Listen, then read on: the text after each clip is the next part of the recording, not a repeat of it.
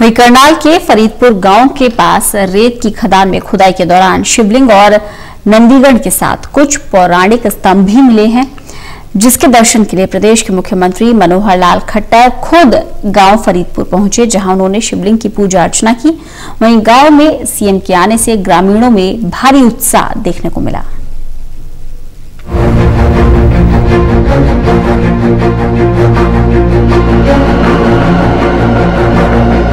हरियाणा में करनाल के फरीदपुर गाँव में रेत की खुदाई के दौरान मिले पौराणिक मूर्तियों के दर्शन के लिए प्रदेश के मुख्यमंत्री मनोहर लाल खट्टर फरीदपुर पहुँचे, जहाँ उन्होंने शिवलिंग की पूजा की। प्रदेश के मुख्यमंत्री मनोहर लाल ने कहा, फरीदपुर गाँव आज देश और दुनिया की नज़रों में आ चुका है।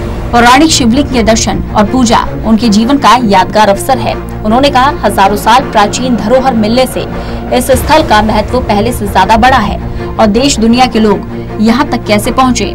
इस पर विचार किया जाएगा, जिससे यहाँ टूरिज़्म को बढ़ावा मिल सके। इसके अलावा, यहाँ के महत्व और आस्था को देखते हुए सरकार आगे काम करेगी। वहीं सीएम ने यहाँ के जिला उपायुक्त को इलाके के रिसर्च के निर्देश भी जारी किए।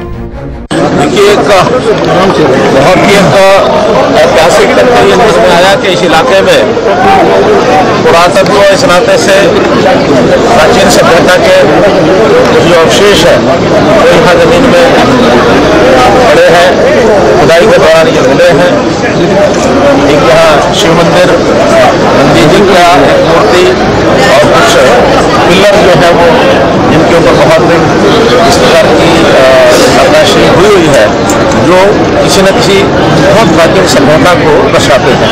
उनके आसपास नीचे गहराई में मिले हैं।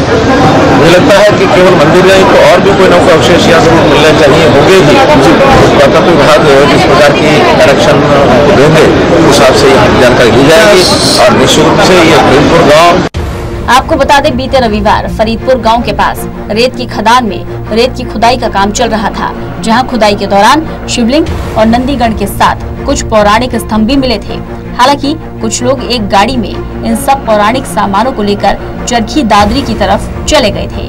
लेकिन गाँव के युवाओं ने गाड़ी का पीछा कर लोगों से इन सभी सामानों को वापस ले लिया।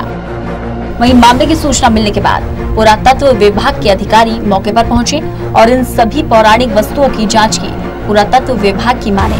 तो खुदाई के दौरान मिली ये मूर्तियाँ भोजकाल में बनी हुई है। जबकि खुदाई के दौरान मिली ईटे कुषाण काल से संबंधित बताई जा रही है। करनाल से विकास महिला